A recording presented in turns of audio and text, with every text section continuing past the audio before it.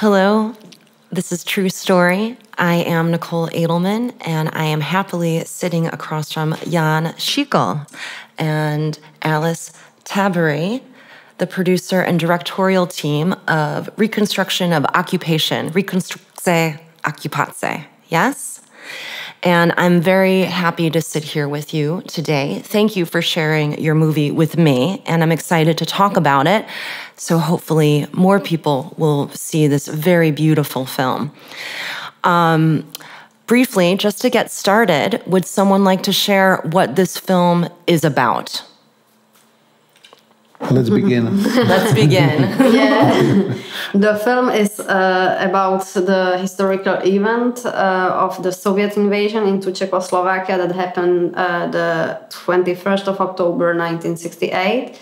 And it's about uh, really great archives, like three and a half hour that were somewhere hidden for 50 years, and then that Jan discovered and decided to search for who are the people in those archives that were shot during several days during this occupation and where it was shot and who shot it. So we started this film with this this uh, first thing that happened and then we we collected a lot of testimonies and tried to make a more general testimony out of all this these people's stories it's a fascinating film um, for our listeners and our viewers. This moment in history is a huge moment in history for the Czech people.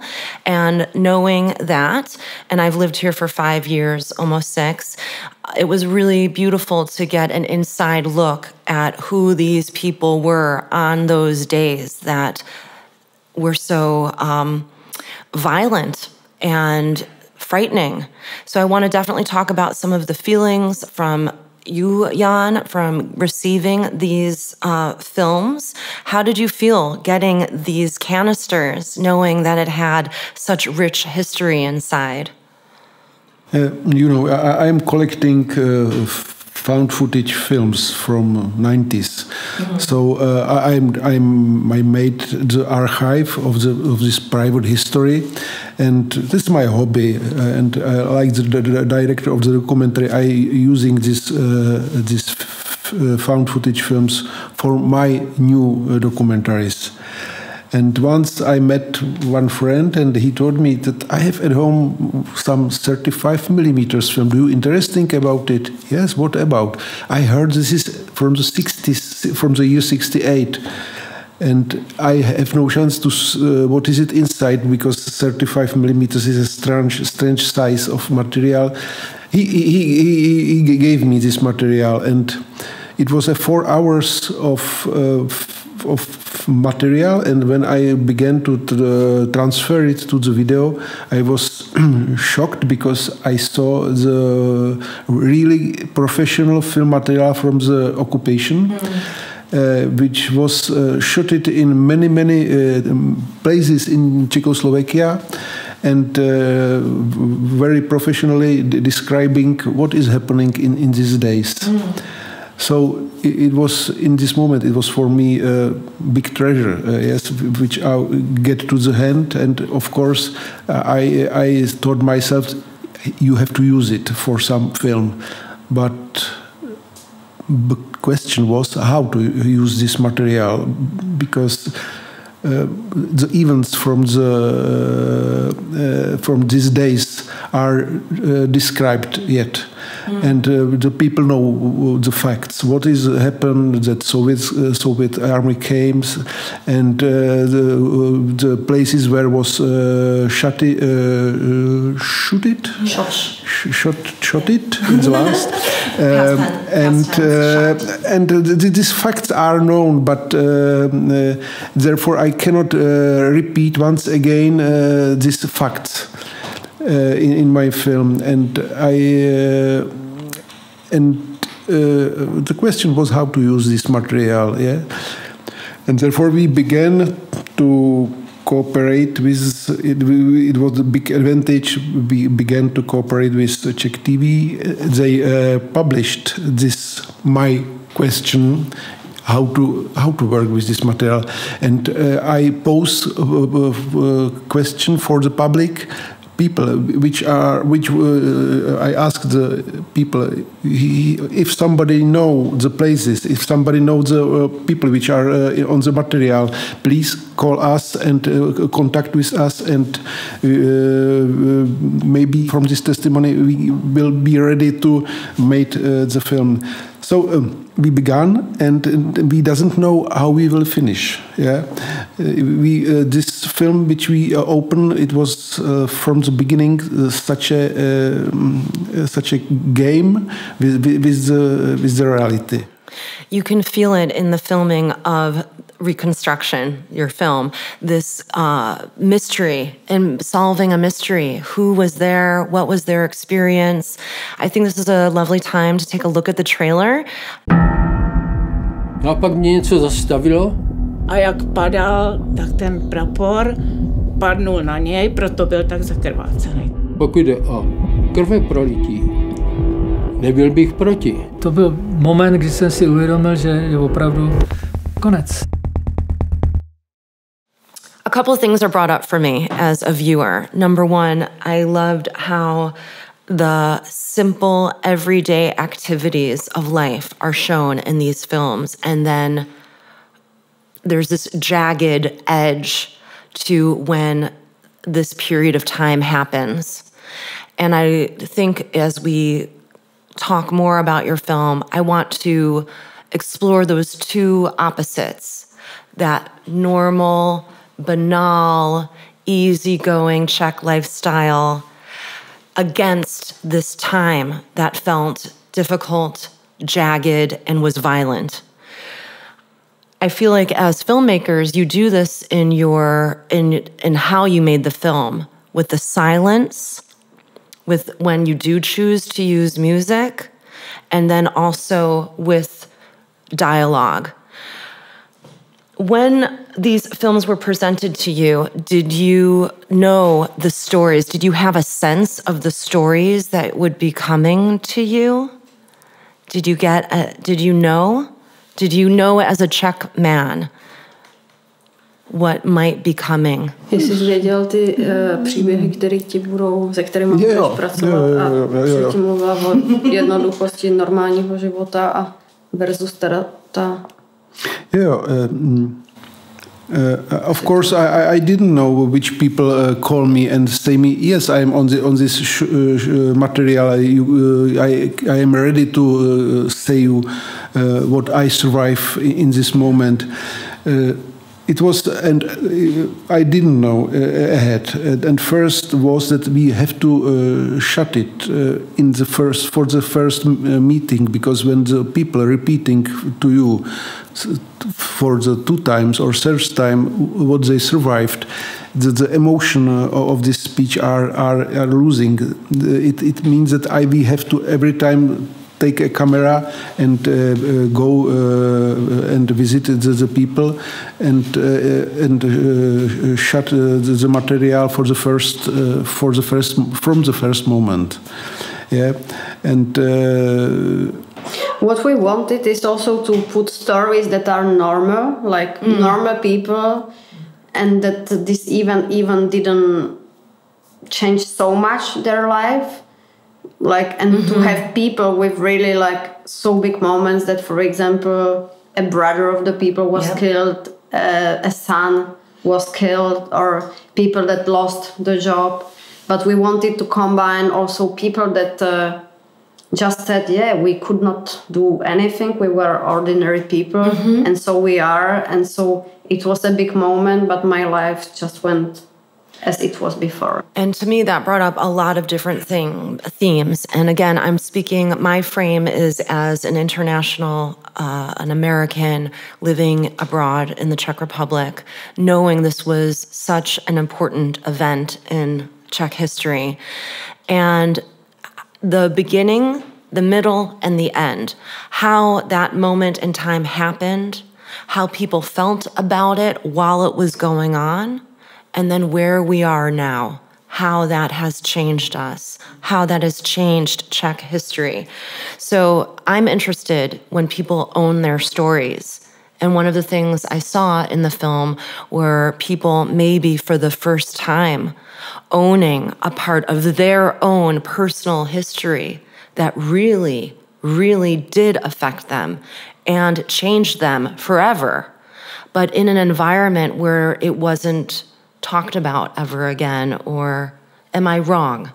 Am I right? Am I wrong? Yeah, yeah, yeah, yeah. People, uh, when we uh, contact them, I was surprised because uh, all the people was full of the emotion. emotion. Yes. And it was strange because 50 years ago, yes, 50 years ago, the people was ready to go, uh, speak about uh, August 68 very, very, uh, let's say, with big emotion.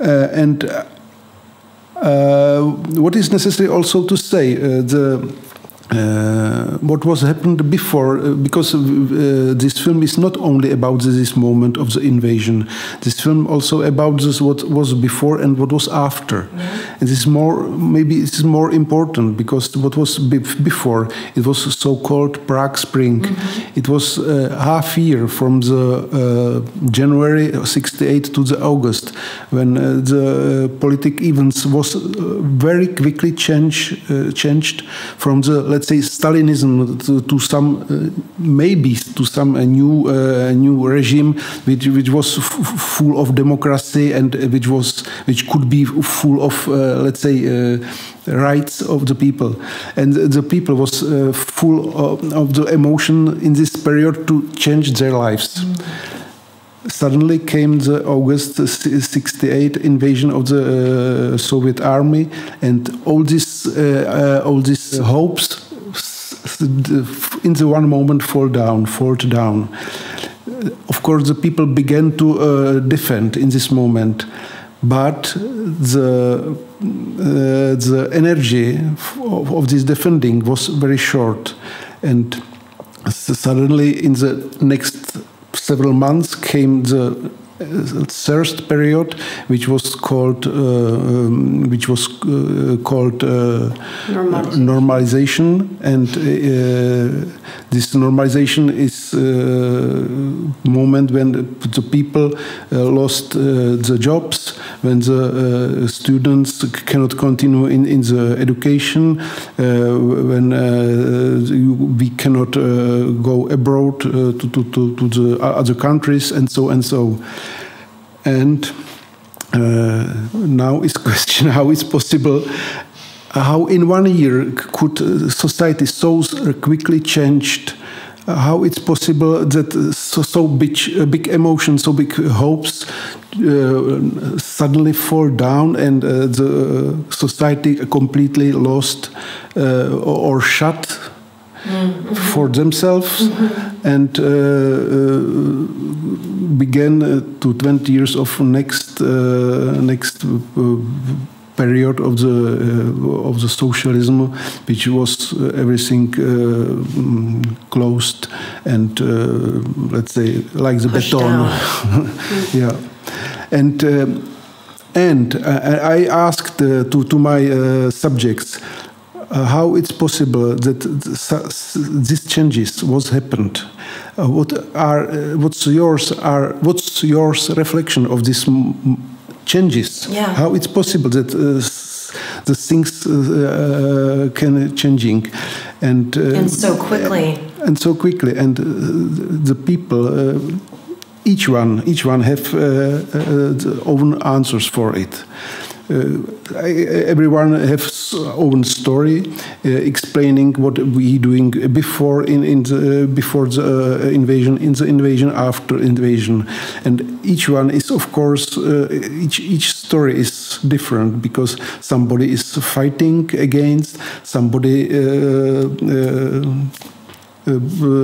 turn turn, turn and uh, close his life itself and uh, stopped in in his hopes. It's a really interesting film. I hope um, this interview leads to more people watching it because those stories that you're talking about were enthralling. And each person had their own point of view and their own take on the moment in time from Prague Spring until um, the occupation. And the footage is amazing. And um, I can see why you found it to be a treasure for sure. And that lack of hope or that bursting of hope, that Prague Spring as we know it to be, and then that flipping to a lack of hope is really profound and also seems very specific to this region. And I ask you as Czechs how it makes you feel knowing that that happened 50 years ago with that high, high and that low, low. And then where are we now after that big movement high, high, low, low. Yeah, you are speaking now about big Czech uh, own uh, uh, uh trauma. Trauma, yes, let's say. and, trauma. And this trauma, it's it's a let's say main main uh, question of the whole film, yeah. because I'm asking also myself how we are. What's what is our reaction? of um, the moment when we are getting some changes in the history and if, uh, my question is if we are ready to keep it this chance and keep it and uh, for forever or if we will lose it uh, uh for for the future? This is actual question also today for us. Uh, because uh, you know uh, the, the politics um, is is not not not sure for well, and to that point, so we were discussing off air about the impact that this film can have on other communities. And I do think it has and can have a tremendous impact uh, the Czech nation is not the only nation that goes through political upheavals. Yeah. And how the Czech people responded to this particular upheaval, I think, is very interesting. And we should look at it to see how we move forward in the future. But is there anything um, that we can say? Um, and I really, I think it's best if you just speak personally. How do you feel then, knowing about your own Czech history and does it make you want to be politically active?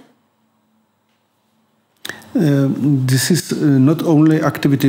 I very often answer for this question is that people in first moment uh, uh get a big emotion and uh, are ready to go to the streets and fight and fight for uh, for for their ideas. But this emotion is very quickly turn back, and the Czech people are not ready to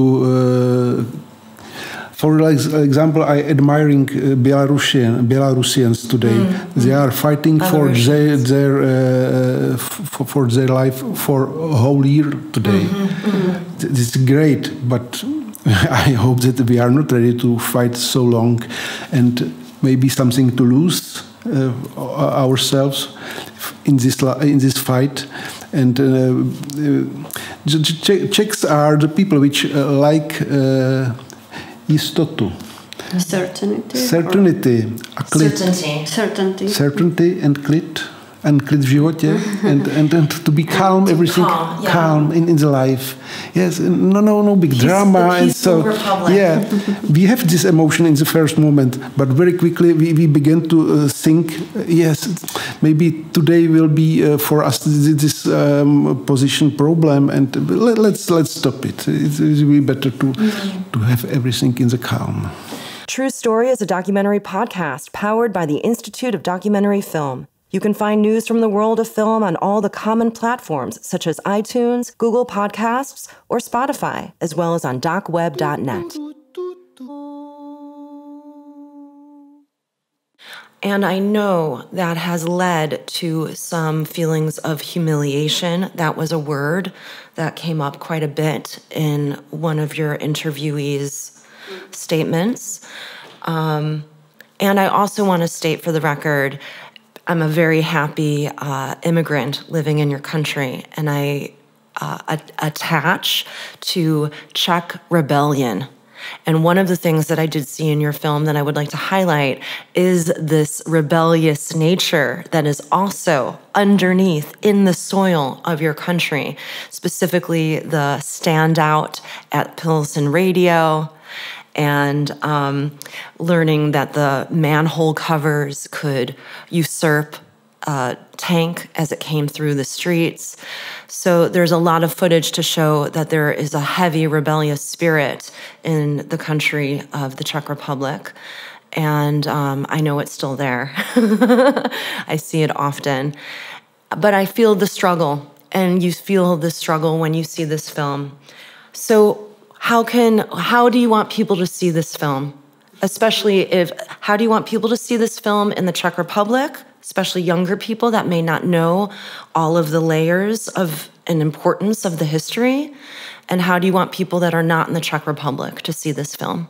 What do you mean? Yeah, I, I would like that the people see the film as I've seen it. Uh, when I just saw what we made, I was because I don't know the period of '68. I'm too young. I know it just through my parents, and we haven't discussed it so much. Like I, know just the historical fact. And when I've seen um, this movie, and I think it's a sort of uh, activist as well doing this movie and making it about these topics and this event.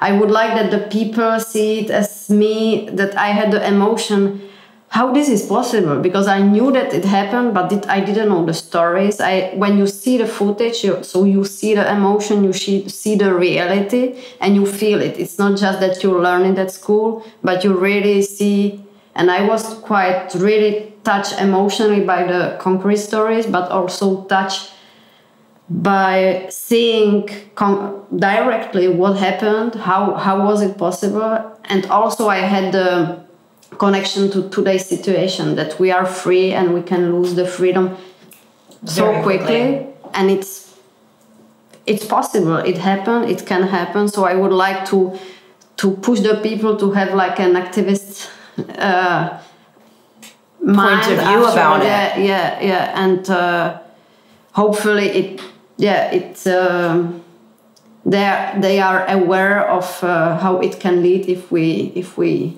just let it go. I think that's huge because, again, I felt the same, um, knowing a little bit, but not obviously being here or living through that time about that. Um, the emotions, the rebelliousness, that was a major takeaway, and that, yeah, it can be gone in a heartbeat. It was very strange to see footage of tanks going down Wenceslas Square. It feels like my neighborhood too now. That would be crazy, you know? And what about you, Jan? What do you. I had uh, six years in this moment when the tanks come. And um, I also I have a very concrete, uh, concrete uh, uh, story in my head because uh, we, we lived in the center of the Prague and I saw the tanks fr- from the from the first moment. But um, I was I had uh, six years, and after what came in the school and what the teacher taught us, it c- came to me, and I I talk uh, or, or I, I accept it like the normal things. Let's I, I because I, I like the child's uh, child saw that yes, this is a normal. Uh, this new new period which came.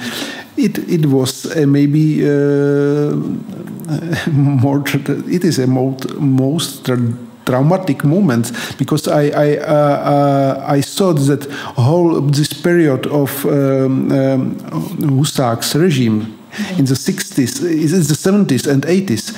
It's a normal.